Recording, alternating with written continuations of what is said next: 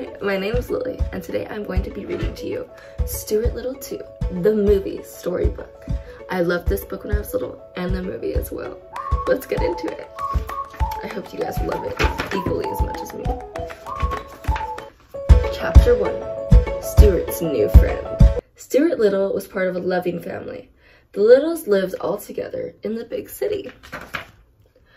Stuart lived with his mother, father, brother George, and baby sister Martha. Stuart was the littlest little.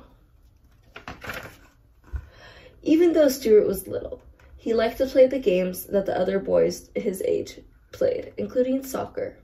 It's going to be great, cheered Stuart before his first game. A big breakfast would help Stuart be ready to play. Of course, most breakfasts were big for Stuart. At the soccer game, Stuart was happy when his coach finally put him on the field to play. Stuart was ready to help his team. But when Stuart ran onto the field, the ball hit him so hard that he got stuck to it and went flying into the goal. Do I get an assist? groaned Stuart. Mrs. Little worried that Stuart would get hurt. He looked so small out there, so lacking in bigness. Does he really have to play soccer, she asked. We have to give him room to grow, said Mr. Little. Do you think he'll grow? Mrs. Little thought Stuart had found a nice, safe hobby in building toy models. Stuart and his brother had already built a boat and a car. Now they were building a plane. There's the plane. How do you think it'll go? But Something went wrong. I'm in the air, cried Stuart as the plane suddenly took off. Do you think he'll be okay?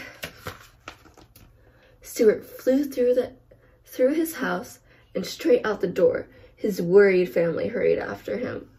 The plane took Stuart into a nearby park. Mayday! Mayday! cried Stuart. Nuns at twelve o'clock! Stuart tried to keep calm. There must be some way to land, he thought to himself. Stuart found a way. He flew he flew straight into a thick bush. Swoosh, smash, crash. Luckily, Stuart was not hurt. There he is.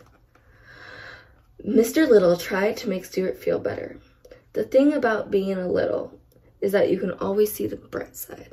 He said, every cloud has a silver lining. The end.